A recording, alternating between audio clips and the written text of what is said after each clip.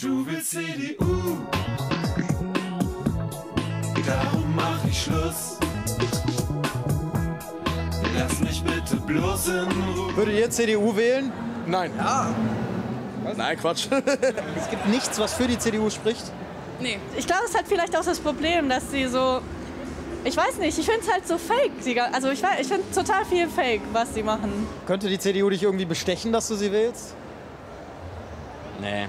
Wenn die CDU Gras verteilen würde, dann. Aber weißt du, da, da gehen sie dann mal auf wissenschaftliche Studien ein und sagen so, ja, Gras ist schlecht, Gras ist dies, das, äh, weißt du? Aber auf die ganzen wissenschaftlichen Studien zu Klima oder CO2 oder sonstiges gehen sie nicht ein, oder was? Und jetzt zur Wahlparty der CDU-CSU. Strategisch clever hat man die junge Union in der ersten Reihe geparkt. Ich sehe, alle beiden jungen Wähler der CDU sind heute zum Mitfeiern gekommen. Na, ein paar mehr waren es ja schon, ne? Sind Sie so gut gelaunt, weil man sich hier sagt, ach naja, war ja nur Europa? Na, die Bremenwahl lief doch gut. Ja, aber wenn man das mal abwiegt, Europa, Bremen. Glauben Sie, dass die Jugend die CDU heute abgestraft hat? Sehen Sie, die CDU ist die stärkste Partei geworden. Wir haben gesehen, dass unsere Parteiführung gesagt hat, dass wir manche Mängel haben und dass wir manche Mängel haben, kann ich nur unterstreichen. Wir müssen als Union insgesamt daran arbeiten, wieder jünger, cooler, offener zu werden. Ist die CDU cool? Das ist so eine Sache, ne? Was verstehen Sie aber jetzt bei Politik unter cool? Haben Sie mal den Robert Habeck gesehen?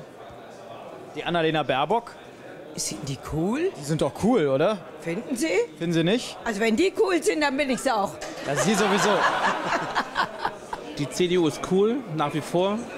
Ähm, man sollte nur die Jugend mehr einbeziehen und auf äh, YouTuber auch ähm, ja, mehr, mehr zuhören. Genau so.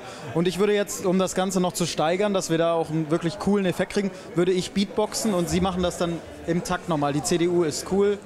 Genau, also auf drei, eins, zwei, drei. Die CDU ist cool und sollte mehr auf junge Leute hören. Was kann die CDU machen, um die jungen Leute wieder einzufangen?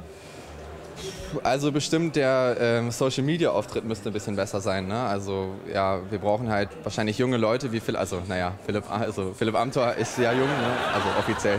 Ich will nur eins sagen. Wenn Riso in seinem zweiten Video gesagt hat, dass es einen Konsens über eine wissenschaftliche Erkenntnis gibt, ist das ein Anspruch auf Allgemeingültigkeit und Richtigkeit, die ich in der Demokratie ablehne. Also wenn jemand sagt, 99,8 Prozent der Studien sagen, dass der Klimawandel menschengemacht ist, dann kann man nicht sagen, alle Studien besagen das. So würden Sie es nicht aufrunden. Wir haben ja erhebliche Anstrengungen unternommen gegen den Klimawandel. Lachen Sie sich so dusselig. Es ist so. Sie können doch nicht sagen, dass in den letzten 30 Jahren nicht erheblicher Umweltschutz gemacht worden ist. Sie können sagen, da ist nicht genug gemacht worden. Ja, das sage ich Aber auch. So, ja, Sie sagen, dass gar nichts gemacht worden ist. Und das ist schlicht dumm, Sir. Das habe ich nicht gesagt. Natürlich haben Sie das zum Ausdruck gebracht. Ich habe doch nicht gesagt, es ist nichts gemacht worden, es ist nicht genug gemacht worden. Da sind wir doch alle auf, äh, derselben Auffassung. Das sagen wir doch auch.